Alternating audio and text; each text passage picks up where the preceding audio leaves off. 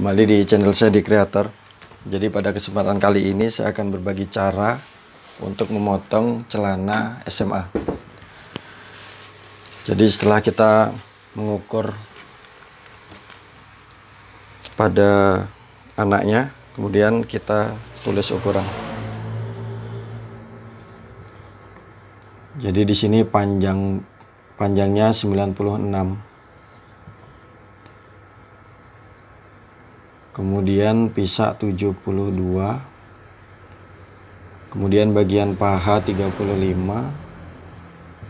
tengah tengah atau lutut ini 24 kemudian bagian bawah 19 jadi mungkin di sini saya akan beri keterangan. Jadi yang pertama ini adalah pinggang kemudian panjang kemudian bagian pisa bagian paha, tengah, dan bagian bawah. Jadi hal yang pertama kita lakukan adalah menyiapkan kain untuk celananya. Jadi kebetulan di sini yang saya potong adalah celana dengan warna abu-abu.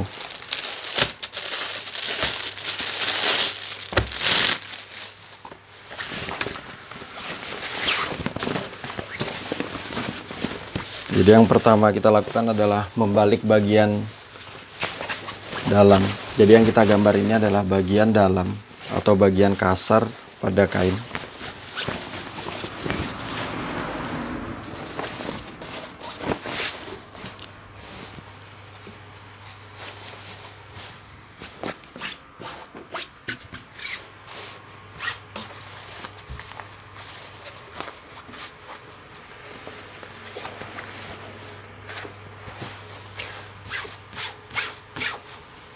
Jadi setelah kita tata kain, hal yang pertama kita lakukan adalah membuat garis pada bagian atas celana.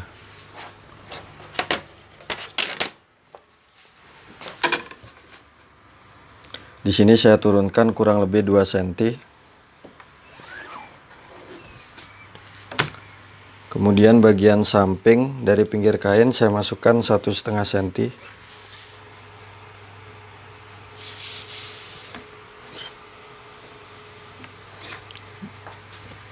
Kemudian kita titik bagian panjang. Jadi panjang dulu kita buat. Di sini panjang 96 kemudian kita taruh meteran 3 cm 3 cm kita taruh di titik bagian garis pertama. Kemudian kita tarik ke ukuran panjang. Di sini panjang 96 kita tambahin untuk keliman bawah 4 cm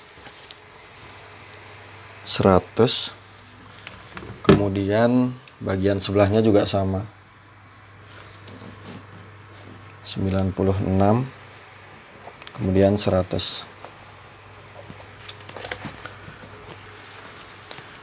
di sini kita pertemukan garis yang udah kita titik tadi.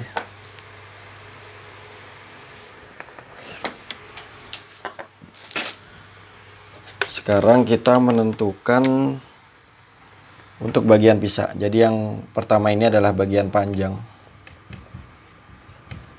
Kemudian dua kita menentukan garis pisah dan juga garis paha. Jadi pisah di sini total keliling adalah 72 72 ini kita kurangin 8 kemudian kita bagi dua kemudian kita kurangin 6 nah mungkin teman-teman nanti bertanya 8 ini adalah bagian pinggang tapi saya kuranginnya itu 3 cm nah kenapa 3 jadi sebenarnya ketika kita membuat pinggang itu saya biasanya 4 cm kurang. Jadi bagian ini saya kurangin 8 jadi kurang lebih untuk bagian pinggangnya itu mungkin nanti saya akan buatkan video selanjutnya. Jadi bagian itu bagian pinggang atau enggak kain keras pinggangnya itu kurang lebih di 3,75 jadi 3 cm ini ketika kita kurangin 4, dia sudah termasuk pur pada bagian pinggang celananya. Lalu 72 kita kurangin 8 64 kemudian kita bagi 2 30 32 kemudian kita kurangin 6 jadi hasilnya di sini adalah 26 untuk bagian depan jadi 72 ini adalah total pisa kemudian kita kurangin 8 cm ini adalah bagian pinggang. Jadi 8 cm itu adalah 4 cm depan dan 4 cm belakang. Kemudian kita bagi dua. Nah untuk bagian depannya kita naikkan 6 cm nanti saya akan beritahu di video selanjutnya atau enggak di bagian kedua. Jadi saya akan jelaskan bagian 6 ini. Jadi yang pertama kita sudah menentukan bagian pisah depan kemudian kita titik dari garis bagian atas. Jadi kita titik 26 cm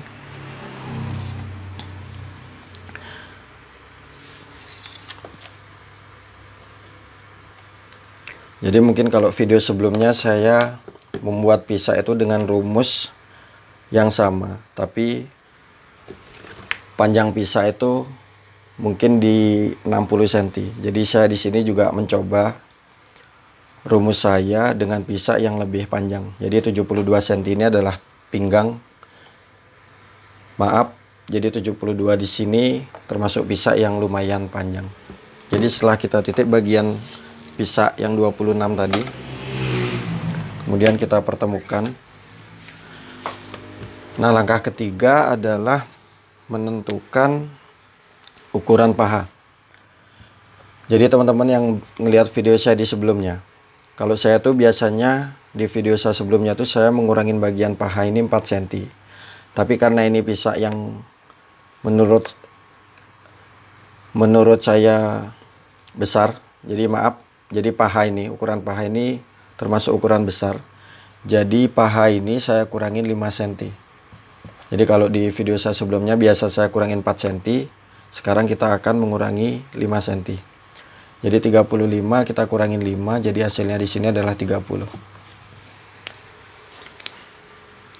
Lalu kita menitik 30 itu dari bagian pinggir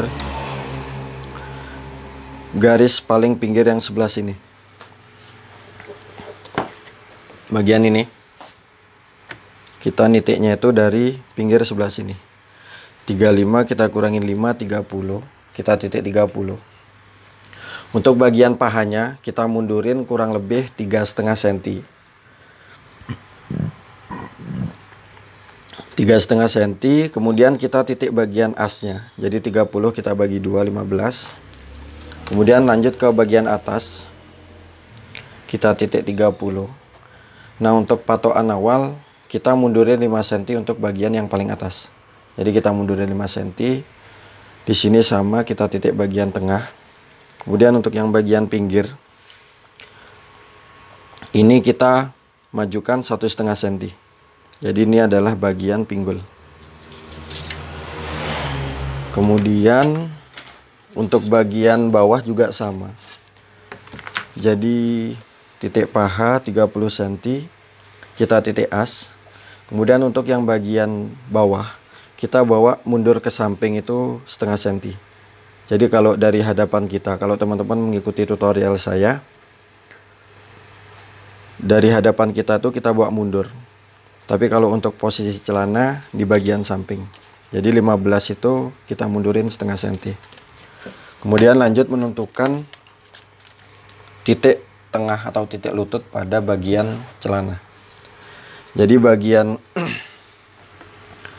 bagian garis paha dan bagian garis bawah celana kita bagi dua. Kemudian kita naikkan 5 cm. Di sini tertera angka 67.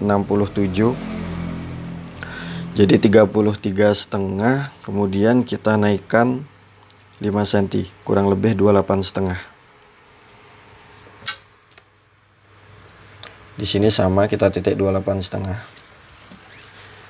jadi mungkin teman-teman yang masih bingung silahkan tulis di kolom komentar.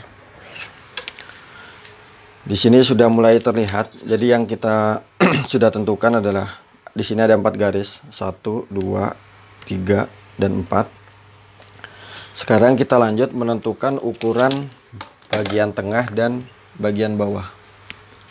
Jadi keempat ini adalah bagian tengah. Jadi bagian tengah dan bawah ini mungkin sudah tahu semua. Jadi bagian tengah dan bawah kita kurangin 2 cm. Jadi 24 kita kurangin 2, jadi hasilnya 22. Di bagian tengah. Kemudian bagian bawahnya 19 kita kurangin 2. Di sini 17 cm.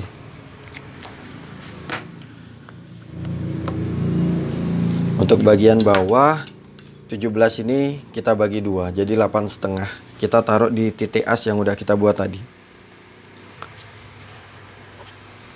Di sini 8 setengah kemudian di sini kita titik 17 kemudian bagian tengah. Kita buat titik asnya. Jadi kita pertemukan bagian as di bagian paha dan bagian bawah dengan menggunakan meteran. Kemudian kita titik tengahnya Lalu kita tinggal menentukan bagian ukuran tengah. Jadi 22 kita bagi 2, 11 kita taruh di titik bagian as.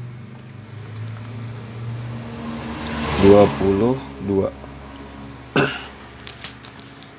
Nah, kemudian hal terakhir adalah menentukan bagian pinggang. Jadi pinggang itu sendiri untuk bagian depan Jadi yang terakhir ini adalah bagian pinggang. Pinggang itu 98 kita bagi 4. Jadi hasilnya itu di 24 setengah. Kemudian untuk bagian depan kita kurangin 1 cm. Jadi bagian depan itu di angka 23 setengah. Nah ini adalah ukuran pinggang untuk pola bagian depan. Jadi perbedaan pola depan dan belakang kurang lebih selisih 1 cm.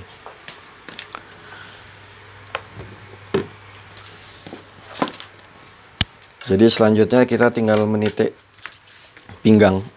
Jadi saya naruh titik pinggang itu dari titik pinggul yang sudah saya majukan kurang lebih satu setengah cm. Di sini kita titik dua tiga setengah.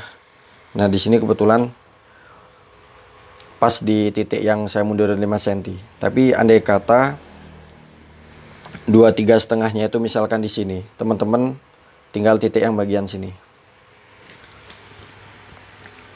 Jadi ini kan patokan pertama. Jika ini bukan dua tiga setengah teman-teman tinggal cari titiknya. Misalkan di sini dua tiga setengahnya jadi kita pindah ke bagian sini nah ini karena kebetulan pas jadi saya biarkan Selanjutnya kita tinggal mempertemukan bagian yang sudah kita titik tadi. Bagian tengah ke bagian bawah. Kemudian sebelahnya juga sama. Lalu bagian paha kita pertemukan sampai ke bagian titik tengah. Di sini bebas, teman-teman bisa menggunakan garisan yang sedikit lengkung atau bisa membuat langsam. Jadi dia tuh garisnya nggak terlalu lurus. Jadi sedikit agak kita tata agar hasilnya tidak lancip. Di sini sama kita pertemukan bagian titik tengah dan bagian paha kemudian kita pertemukan juga bagian titik ini. Ini adalah garis untuk pisah bagian depan. Kemudian kita buat garis pinggul yang sudah kita majuin satu setengah senti ke bagian paha. Jadi saya biasa menggunakan garis lengkung.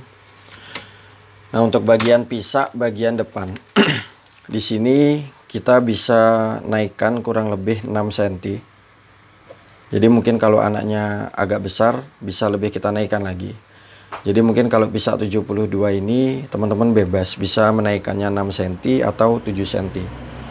Di sini saya pakainya 6 cm. Nah, kemudian titik ini adalah titik untuk lekuan pola pisah bagian depan. Jadi teman-teman kira-kira sendiri. Kurang lebih seperti ini. Kemudian kalau saya di sini biasa saya buatkan garis bantu.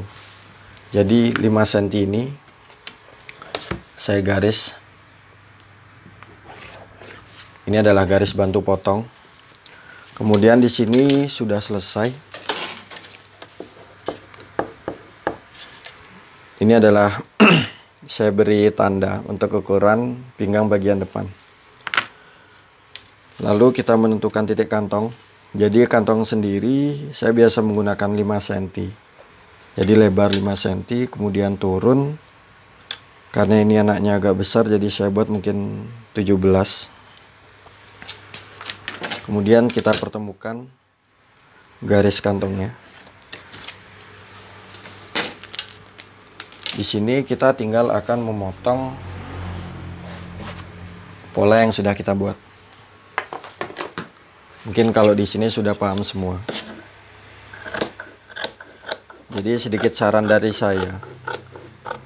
Untuk ukuran pisah itu teman-teman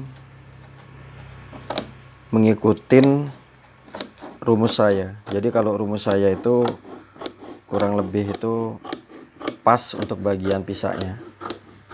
Jadi mungkin kalau hitung-hitungannya agak ribet, kita juga bisa menggunakan kalkulator untuk menghitungnya.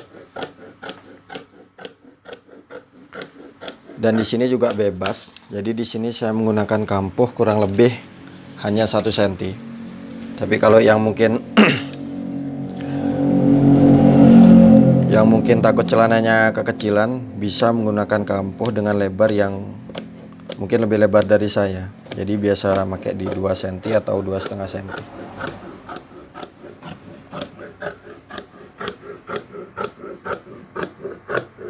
nah kemudian yang saya bilang garis bantu tadi.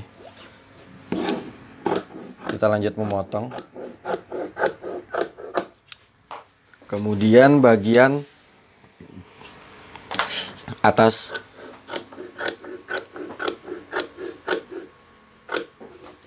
Lalu untuk bagian di sini kita berhenti kemudian kita naikkan kurang lebih